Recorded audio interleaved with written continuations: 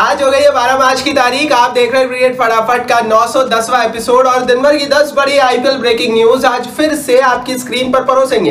दोस्तों, एक महीने से कम का समय बचा है आईपीएल में और 10 में से छह टीमों ने अपनी नई जर्सी रिलीज़ कर दी है। सारी जर्सीज नई वाली भी बताएँगे। तो एंड तक वीडियो को देखिए। दोस्तों वीडियो को लाइक और शेयर कर दीजिए अपने हर आईपीएल और क्रिकेट फ़ैन के साथ। और आईपीएल की तमाम न्यूज़ फैक्ट्स अपडेट स्टोरीज इसी तरह से हर रोज सबसे पहले अपनी स्क्रीन पर पाते रहने के लिए सब्सक्राइब का बटन नीचे नहीं दबाया हो तो फटाफट दबाइए और बेल आइकन भी दबाइए।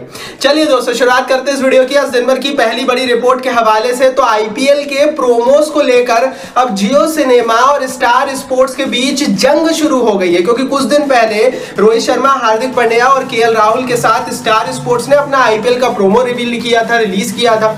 उसी को टक्कर देने के लिए महेंद्र सिंह धोनी के साथ जियो सिनेमा ने अपना नया प्रोमो निकाला है।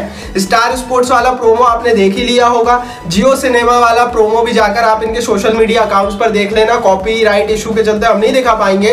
लेकिन दोनों प्रोमोस देखकर कमेंट बॉक्स में ये ज़रूर बताना कि आपको कौन सा प्रोमो अच्छा लग रहा है, जियो सिनेमा वाला या स्टार स्पोर्ट्स वाला? हालाँकि जियो वालों ने धोनी को ब्रांड एम्बेसडर बनाया है और मैंने आपको पहले ही बोल दिया था कि धोनी स्टार स्पोर्ट्स के प्रोमो का हिस्सा नहीं बनेंगे।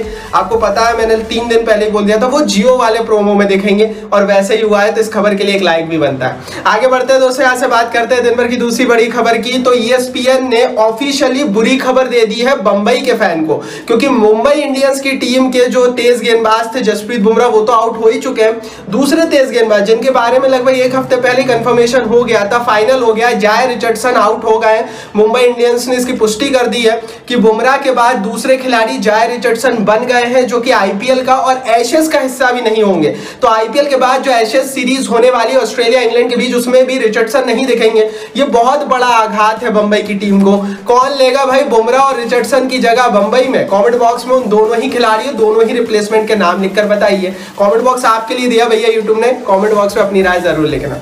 आगे बढ़ते हैं दोस्तों से बात करते हैं दिन भर की तीसरी बड़ी खबर की। तो डब्ल्यू से आरसीबी के लिए अच्छी खबर निकल नहीं आ रही है, क्योंकि एक साथ चार मैचेस हारने के बाद लगभग आरसीबी टूर्नामेंट से बाहर होने की कगार पर खड़ी हुई है।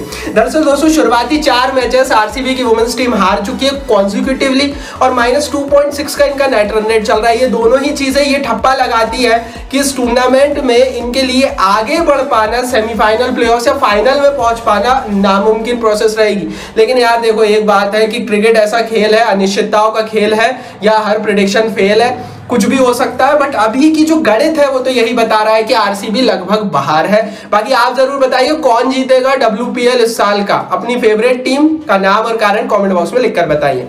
आगे बढ़ते हैं, दोस्तों यहाँ से बात करते हैं, दिन भर की चौथी बड़ी रिपोर्ट की तो ये खबर आ रही है वेस्ट इंडीज के खिलाड़ियों के हवाले से, क्योंकि वेस्ट इंडीज के खिलाड़ियों की आईपीएल अराइवल डेट्स आ चुकी है। मोस्टली जो वेस्ट इंडीज के प्लेयर्स हैं, वो 20 तारीख को इंडियन प्रीमियर लीग में अपनी अपनी टीमों के कैंप को ज्वाइन कर लेंगे। आपको एक चीज़ और बता दूँ कि केकेआर ने कंफर्म कर दिया है कि सुनील नरीन और एंड्रे रसल 20 तारीख को भारत आ जाएँगे।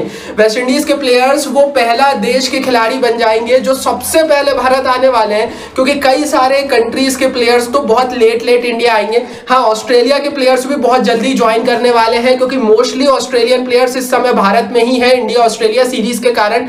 तो वेस्ट इंडीज के बाद ऑस्ट्रेलियन प्लेयर्स भी बहुत क्विकली 20-22 तारीख को ज्वाइन कर जाएँगे। मतलब हम ये बोल सकते हैं कि 20 तारीख से रियल बिगुल बच जाएगा आईपीएल का, जिसके लिए मैं तो बहुत एक्साइटेड हूँ। अगर आप भी हो वीडियो को लाइक नहीं किया तो कर दो। आगे बढ़ते हैं दोस्तों, पांचवी वाली रिपोर्ट की बात करते हैं। तो आईपीएल के ओपनिंग सेरेमनी की टिकट आउट हो चुकी है।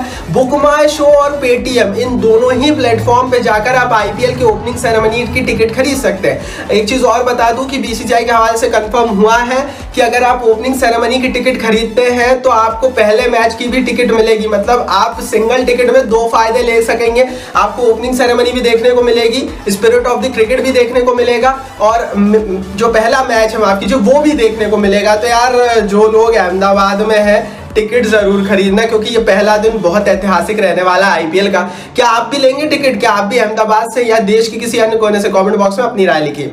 आगे बढ़ते हैं दोस्तों, यहाँ से बात करते हैं दिन भर की छठी बड़ी रिपोर्ट की। तो ये खबर दोस्तों निकल कर आ रही है मैथ्यू हेडन के हवाले से। मैथ्यू हेडन ने विराट कोहली और ओडीआई वर्ल्ड कप को लेकर एक बड़ी बात और एक बड़ा बयान दिया। उन्होंने कहा IPL will set up the Kohli for ODI World Cup. ये जो आईपीएल होगा दो महीने का, ये विराट कोहली के ओडीआई वर्ल्ड कप की टोन को सेट करेगा। हेडन के मुताबिक अगर भारत को अच्छा खेलना है तो विराट कोहली को चलना पड़ेगा। लेकिन विराट कोहली को जो सेटअप होगा विराट कोहली का जो फॉर्म हमें देखने को मिलेगा आ, मतलब विराट चलेंगे या नहीं चलेंगे इसका फैसला हमें आईपीएल में देखने को मिल जाएगा। अब हेडन की ये बात कितना सच है कितना झूठ क्या आईपीएल का बहुत बड़ा इंपैक्ट वर्ल्ड कप पर भारत के लिए पड़ने वाला है इस पर आप अपनी राय कॉमेंट बॉक्स में ज़रूर लिखिएगा। कॉमेंट बॉक्स नीचे ही फिर बोल रहा हूँ। आगे बढ़ते हैं दोस्तों यहाँ से बात करते हैं दिन भर की सातवीं बड़ी खबर की। तो छह टीमों ने अपनी नई जर्सी रिवील कर दी है। और ये जो छह टीमें जिनके नाम बताऊँगा, इनकी अब नई नवेली जर्सीज भी आप अपनी स्क्रीन पर देख पाएँगे। आरसीबी की टीम कतर एयरवेयर्स के साथ अपनी नई जर्सी बनाए हुए हैं तो वो जर्सी ज़रूर देखिए। आरसीबी के फैंस लाइक कीजिए। केकेआर ने अपनी नई जर्सी माय फैब 11 के साथ बनाई है। इनका प्रिंसिपल स्पॉन्सर बना है। तो केकेआर के फ़ैन हो, अगर आप लाइक नहीं किया हो, कर दो। आरसीबी के फ़ैन जिन्होंने नहीं किया हो, वो भी कर दो।